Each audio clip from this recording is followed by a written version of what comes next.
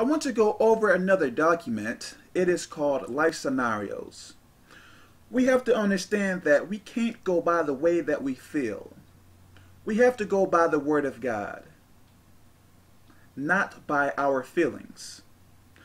So we have to transition our minds from the natural to the supernatural, to the way of God. So in each scenario here, we are going to learn about the best solution. So let's go to number one. Instead of building your riches in life for this world, solution, plan for your afterlife. Do things which will earn you great rewards.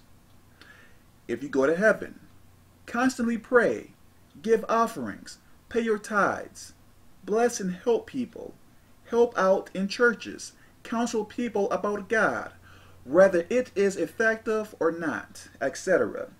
Your life on earth is extremely short. The average life expectancy for this world is 71 years. So there is no reason to put your all in this world. See it as a boot camp. Keep your boxes packed. Wait until you get you get to your real home. Then you can unpack. Number two, instead of cussing someone out for irritating you, solution, walk away or talk to them in a calm manner. Tell them that they are annoying you. Number three, instead of disrespecting your parents, grandparents, solution, respect and be courteous to them, whether they are wrong or right. God is the judge. He monitors everything. Make sure you are doing the right thing. There is a blessing for respecting your parents, grandparents. Number four, instead of fighting people, solution, walk away. Pray for protection for now and future. Number five, instead of fornicating or committing adultery, solution, different optional choices here. Number one, stay single and totally devote your life to God. Number two, get married and be satisfied with your mate, your spouse. Number three, pray to God to fix your situation. Number six, instead of getting drunk and high, solution. Fellowship with people who are goal oriented. Look for things to do for people. Start a little business to keep you busy to keep you busy. Number seven, instead of going to clubs with the wicked, solution, set up parties and invite holy people. Plan outings with your fellow church members. Number eight, instead of getting depressed, harming yourself or others, solution, start talking positive.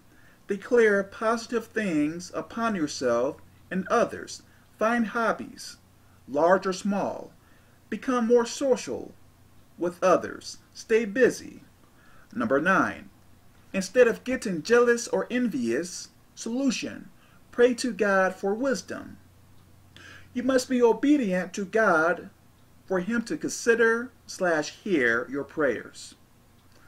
Declare that you have all that you need now. Self-employment is in your present in future. Money follows you everywhere you go. You must declare this. God has enough riches to spread it around to everyone. If they trust Him, faith. No reason to be jealous or envious of anyone. Number 10. Instead of researching the latest worldly sinful song and dance, solution, Research the latest sermon taught by a man of God, holy person, based upon the Bible. Read the Bible little by little. Research songs that lift God up. Songs of praise to God, Christian and gospel. Christian and gospel artists make great music as well. Nice rhythm and melodies. Just go cold turkey off the world. Sinful things. Number 11. Instead of watching horror or any other inappropriate movie slash video, solution. Watch movies or videos that are mild, something that is tasteful, nothing that is over the line. Line.